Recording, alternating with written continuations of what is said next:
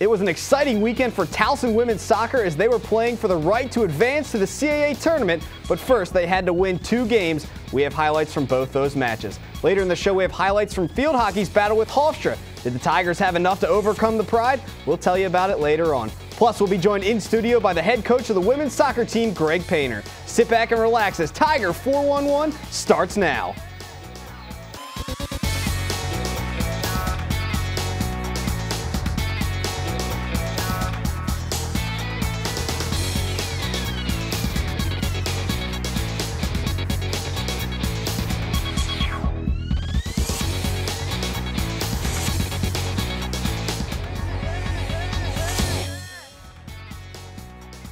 Hello, Tiger Faithful, and welcome back to another edition of your favorite weekly show, Tiger 411. I'm your host, Zach Maskavich. As you heard me say in the intro, this past weekend was crucial for the women's soccer team as they were on the verge of their first ever CAA tournament appearance. But they needed to take care of business at home when they hosted back to back games on Friday and Sunday. Friday afternoon, the Tigers welcomed, welcomed in CAA newcomer Elon into the Tigers soccer complex. The Tigers looking to remain unbeaten in their final three matches, most recently coming off a 2-2 draw with the Drexel Dragons. We pick up the action in the first half. Tigers on the attack. Sophia Reed racing down the far sideline, gets off a shot, but as you can see, that was a tough angle for the senior, goes just wide, and the game remains scoreless for now. And still in the first half, Katie Ponce making a good run. She's going to fire from distance, able to beat the Elon keeper for the goal. What a strike from Ponce on her team leading sixth goal of the year. The Tigers jump out to an early 1 to nothing lead over Elon. We move to the second half now. Tigers still in control, up 1 to nothing. Natalia Pinkney going to get the ball, takes it down in the corner, tries to cross it for Holly Garber, but it's just out of Garber's reach, and Kate Murphy scoops it up easily for the Phoenix. Minutes later, the Tigers on the attack again, showing some nice ball movement here. Emily Marshall sets up Reed at the top of the box, but Reed just misses putting the ball on frame. Towson still holding on to the one goal advantage. And hey, what's a soccer highlight without showing the Tigers star goalie Erin Quinn? Quinn making it look easy on the direct free kick from Elon, making one of her two saves on the day. Moments later, the Tigers are back on the attack. Gabby Sirica races down the near sideline. She's going to get past her defender, gets down low, blasts a pass to Morgan Frakowski, who puts it top shelf for the goal. Frakowski's first goal of the year, and it puts the Tigers up 2 to nothing over Elon. What a moment for the Tigers senior Morgan Frakowski. And that's all the Tigers would need as they take down the Elon Phoenix by a 2 to nothing final. Towson now just one win away from a CAA tournament berth.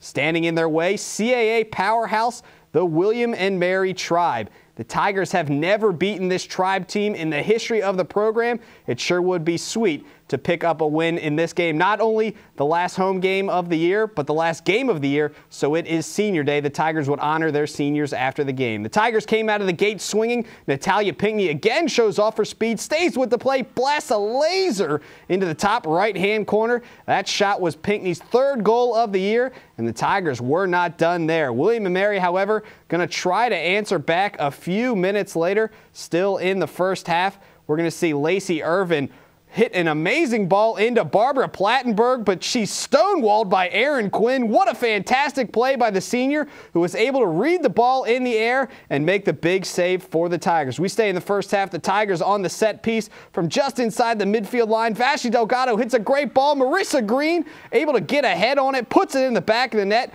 Green's second goal of the year. The Tigers now up 2 to nothing, and they have a bit of a cushion to work with here against the Tribe as they look for their first win over William and Mary. Towson now has to hope that the clock just continues to tick away as each second off the clock is good for the Tigers. Second half now, Tigers trying to build on that lead. Katie Ponce showing off her ball handling and power as she works around her defender, rips that left-handed shot, but it's saved by Devin Peck to keep the Tigers off the board. Final 10 seconds of the game, Tribe with one final chance, but Quinn gonna punch it away right there, and it's all over. The Tigers upset William and Mary on senior day by a 2 to nothing final as the Tigers advance to the CAA tournament for the first time in program history.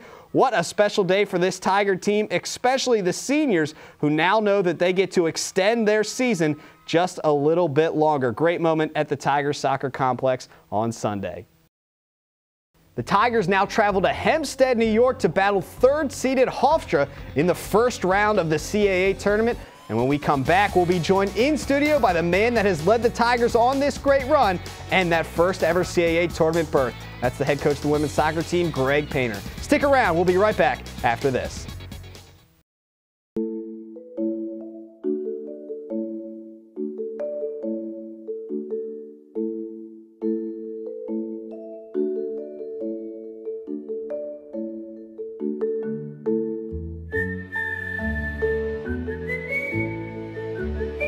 Virtual Wallet can help you be that person who's good with money.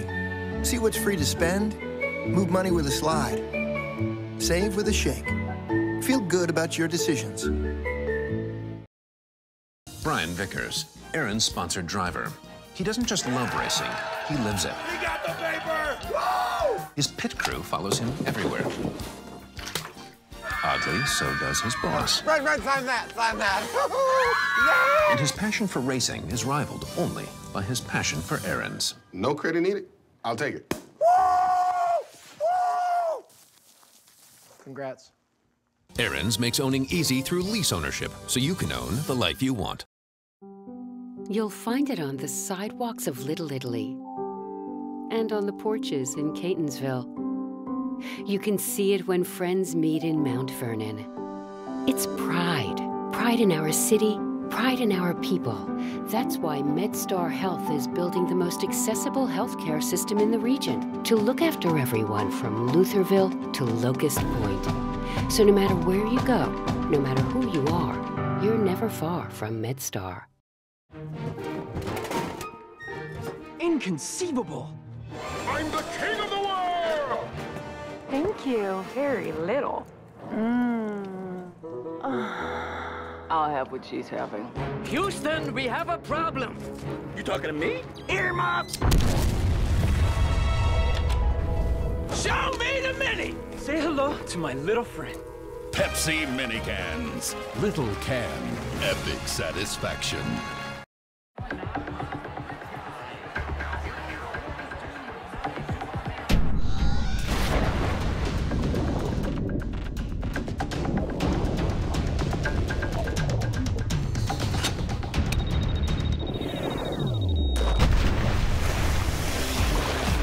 Refreshment calls, Coors Light answers.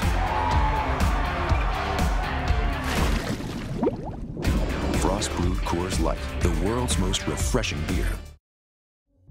Welcome back to Tiger 411. As we promised before the break, for the second straight week, the head coach of the women's soccer team here at Towson, Greg Paynter, joins us. And coach, uh, thanks for stopping by after what was a very exciting weekend for you guys.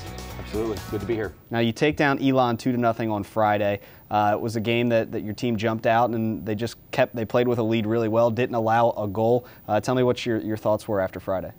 Well, I mean, we knew we had to win two games this weekend, and uh, to get out against a team like Elon that's on the road, it's, it's tough for them to get get going and get motivated. And we told them we needed to get a strong start, and we did that, um, you know, on Friday, and we're able to, you know, have a comfortable game and, and control it. So able to save some legs for for uh, for yesterday. And then Sunday, you come out against a William Mary team who's a CAA powerhouse year in and year out, uh, and you come away with a 2 0 win. Uh, when you guys jumped out with that first goal from Natalia Pinkney, uh, what was going through your mind when, when, you saw that you, you got the lead that you wanted? Well, I mean, we had to keep playing, yeah. and I think that's the, the trap you get you, you fall into is that, you know, uh, it, it, no lead is safe, especially when you have a William and Mary team that's as talented as they are, and uh, you know we had to you know continue to play well, and we got the second goal, so that really um, you know helped us and settled us down a lot. And on the second goal, as we saw in the highlights earlier in the show, uh, Marissa was able to just get ahead on it. It wasn't a ball that was very high because it bounced off the ground, but she did a great job adjusting to that ball and, and able to put a little bit of power on it to put it past the goalkeeper. She, she's one of our better players in the air, and uh, Vashti hit a tremendous service, and Marissa was just relentless at getting on the end of it, and uh, you know, I think it caught you know, their goalkeeper a little bit by surprise, uh, which is good because she's a very good goalkeeper, and we had to do something something special to beat her. And you did two to nothing, as we just mentioned. Uh, it was senior day. You did something a little bit different that, that you don't normally do in years past. You waited to hold senior day until after the game was over to honor uh, all the girls that would be graduating. Uh, do you think that really played into your favor to, to make sure the girls were focused on the William and Mary game, and then the, the senior day became even more special because you ended up winning? Well, that, that was, um, I went to the, the, the, two senior captains and asked their opinion of when they wanted to do it, and that was uh, an idea that was kind of born together with, uh, you know, the staff's input and their input, and um, yeah, we, we, wanted to make sure we were focused. We knew that um, we knew that we had to win two games, and I didn't want any uh, distractions before the game, and, and they were on board with that, and they were really excited about about uh, you know having the game first and then their celebration afterwards. So not only did you guys need to win your two games this weekend, which you did, you also need Delaware to not win. Uh, they ended up falling to Hofstra four to two. Was, that game ended around halftime of your game. When were you aware that, that Delaware fell?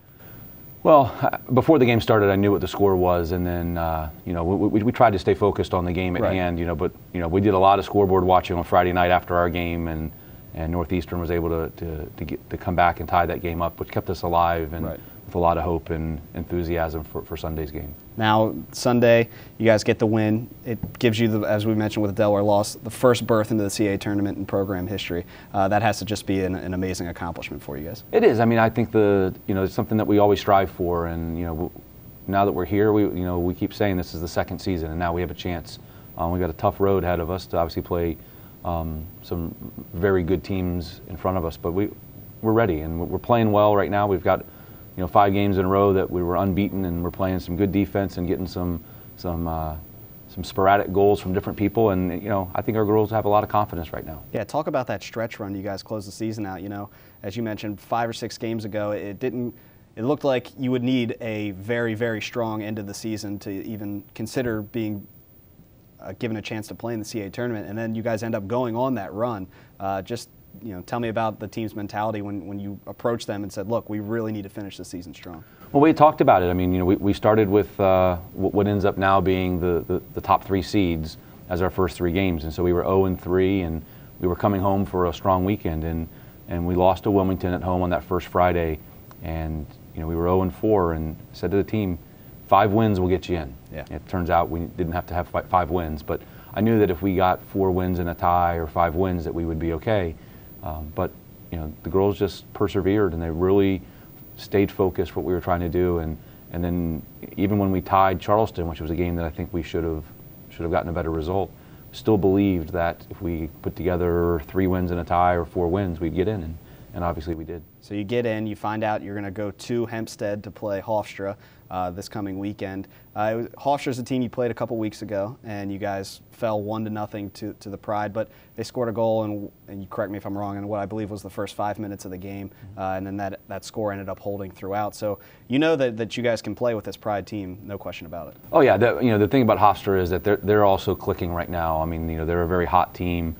Uh, I think they're undefeated in their last five or six games as well, and they have one of the best offenses in the country, and certainly uh, one of the most prolific offenses in our conference. So, you know, we have to find a way to, to slow them down. They've got the two highest scorers in the conference, and you know, we just have to make sure that we're we're, we're playing good defense first, and then uh, I think that we have you know, some wrinkles in in our, our lineup now that we didn't have the first time we played them that will create some offense for us. Now you also you mentioned they have a, a prolific offense, but you have a pretty good goaltender yourself and, and a good defense in Erin Quinn, uh, you know, celebrating her senior day.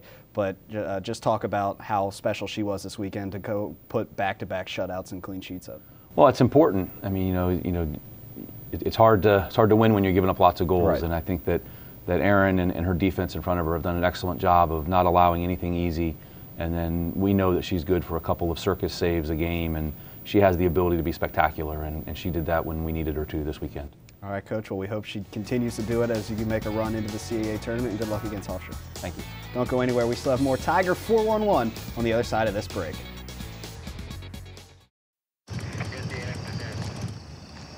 You know how fast you were going? Yeah, about 55. Where are you headed at such an appropriate speed? Across the country to enhance the nation's most reliable 4G LTE network. How's it working for you? Better than ever. How'd you do it? Added cell sites, increased capacity. And your point is? So you can download music, games, and directions for the road when you need them. Who's this guy? Oh, that's Charlie. You ever put pepper spray on your burrito? I like it spicy, but not like, oh, spicy. You always like this? You have no idea. AT&T, the nation's most reliable 4G LTE network.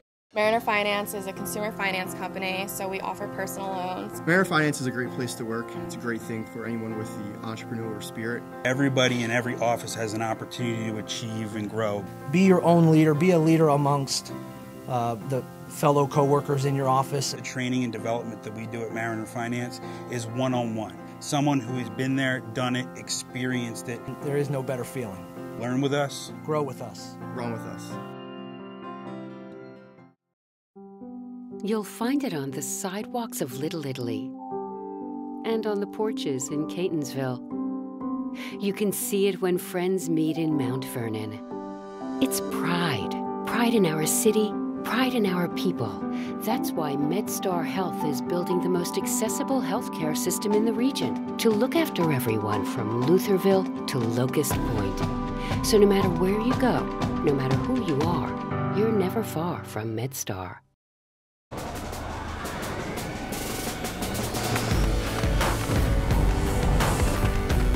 This is where the legends live, waiting for someone with better innovation. From the brand that reinvented the t-shirt comes the Under Armour Speedform Apollo. This is our rocket ship.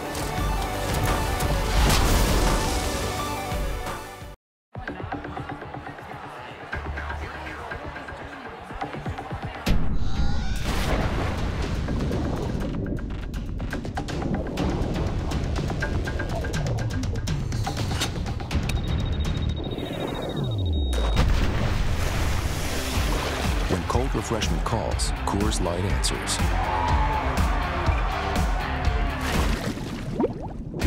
Frost brewed Coors Light, the world's most refreshing beer. Welcome back to Tiger 411. I'm your host, Zach Maskavich. Field hockey was under the lights at Johnny Unitas Stadium on Friday as they were in search of their first home win of the year.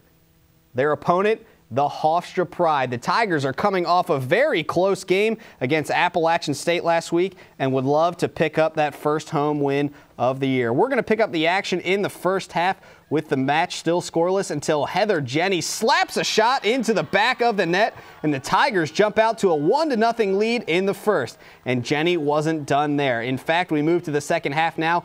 Jenny again gets the ball, puts it in the back of the net, her second goal of the day and team leading fifth goal of the season. That cuts the Pride lead to 1 at 3 to 2. This was Jenny's second multi-goal game of the month as she also registered two goals against Columbia, but unfortunately for Tiger fans, it wasn't enough as the Pride come into Towson and hand the Tigers a four to two defeat.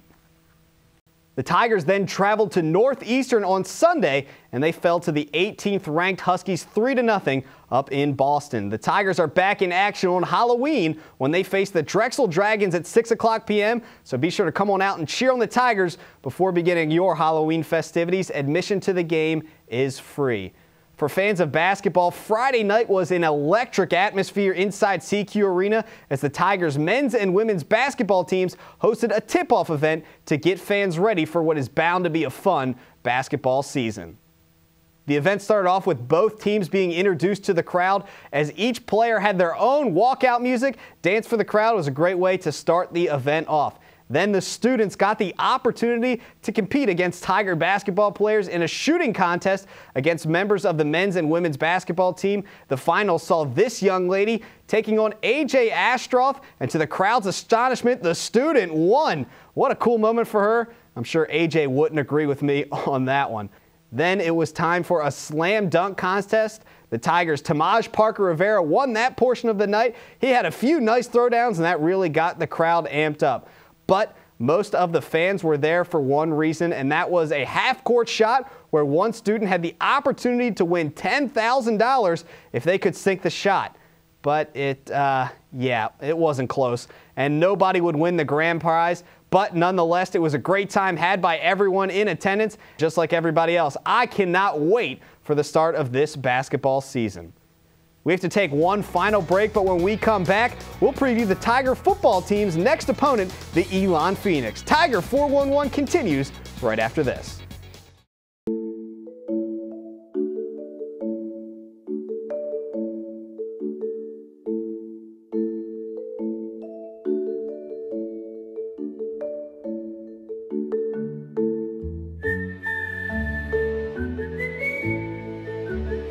Virtual wallet can help you be that person who's good with money. See what's free to spend, move money with a slide, save with a shake. Feel good about your decisions. You'll find it on the sidewalks of Little Italy and on the porches in Catonsville. You can see it when friends meet in Mount Vernon. It's pride. Pride in our city, pride in our people.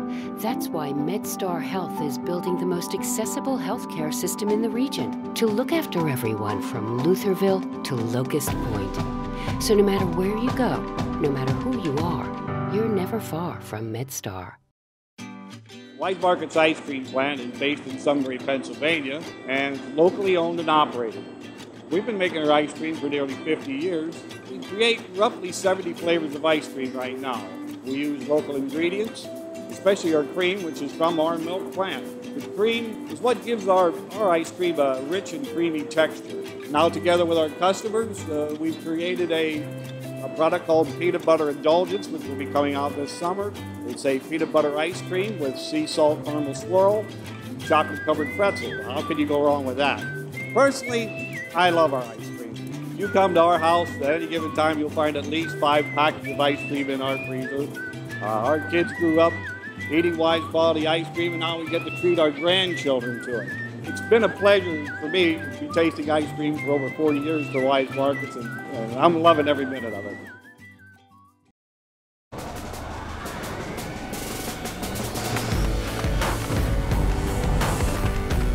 This is where the legends live, waiting for someone with better innovation. From the brand that reinvented the t shirt comes the Under Armour Speedform Apollo.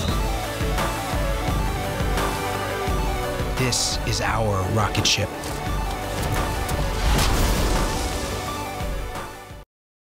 Welcome back to Tiger 411. I'm your host, Zach Maskavich.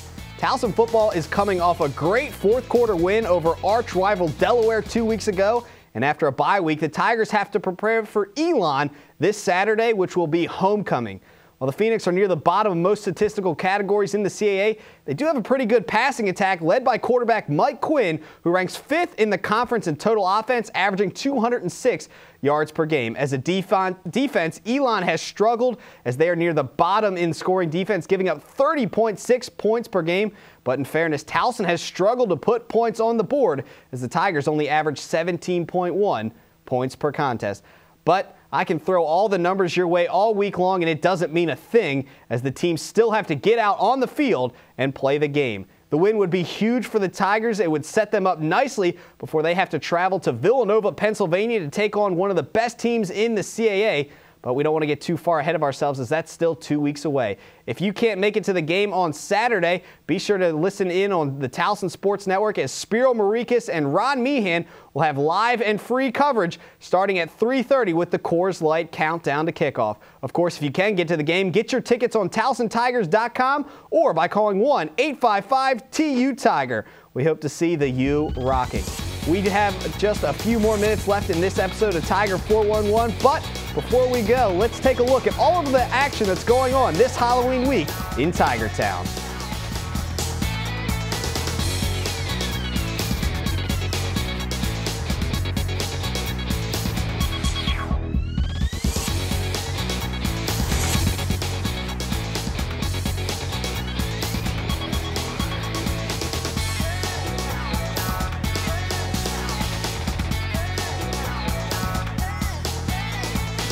Going to do it for this edition of Tiger 411. Remember, for the latest news on your favorite Tiger teams, be sure to follow them on Twitter at Towson Tigers. And while you're at it, give me a follow at Zach Maskavich. A special thanks to Greg Paynter for stopping by the studios for a quick chat. And A special thanks to you for watching this episode of Tiger 411. Once again, I'm Zach Maskavich. Have a good week, and as always, go Tigers!